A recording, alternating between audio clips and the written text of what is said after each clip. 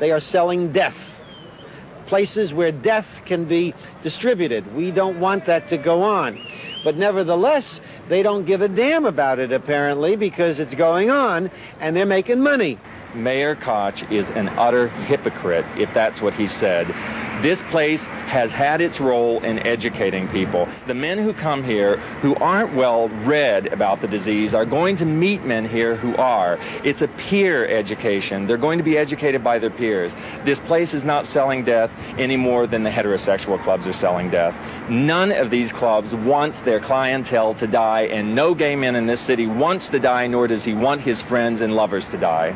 Hey, what's up? Welcome to another episode of Gay New York History, an interactive tour where I take you on a tour of all the gay spots in New York history. Now, we are in the East Village on St. Mark's Place, which is a road very dear to my heart. It is where my New York story began.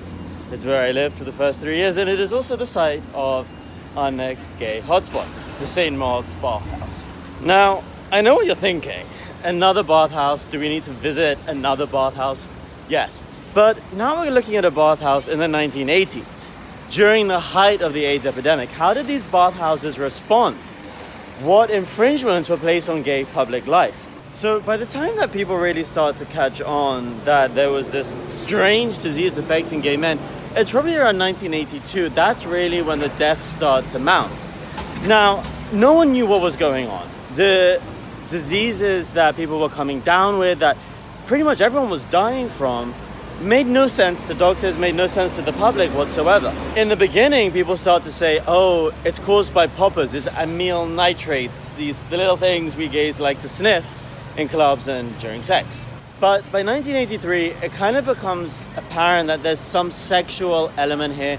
Doctors, epidemiologists were speaking to men coming down with this gay-related cancer, etc., and noticing they had a high frequency of sexual partners which kind of implements the gay bathhouse, which is a site of public sex. Now, I've spoken to gay men who were living through the early days of the epidemic, I've read accounts, and while from today's perspective you think, oh my gosh, you know, of course people would stop unprotected sex, people were very happy to turn a blind eye, at least in the 1982 83 period. From what I know, and uh, it's very hard to quantify this. So the government in New York State start to clamp down, clamp down on the bathhouse. Alas, the bathhouse shut down in 1985 and never reopens, and indeed, all the bathhouses, such as the Mineshaft that we visited earlier, all closed down.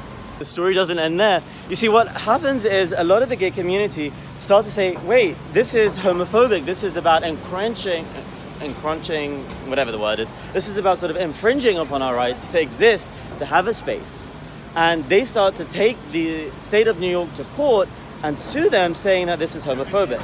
The government say, no, this is in the name of public safety. We are shutting these bathhouses down for your sake, not for homosexual uh, homophobia. And it's interesting because a lot of members of the gay community at the time not only said that this is bad from a sort of libertarian perspective in terms of, you know, shutting down gay freedom, but they were also saying that the bathhouses were sites of education.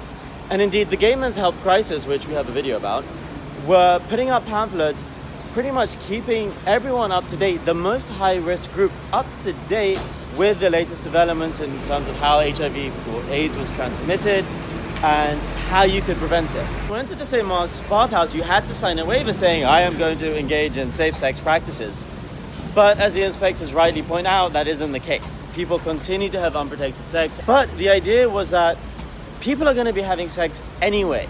So you can either let them have sex in a controlled space where the condoms are provided, where education is provided, or you can say, all right, go back into the closet and let's see how the virus spreads when no one is educated. Anyway, I'll see you next time.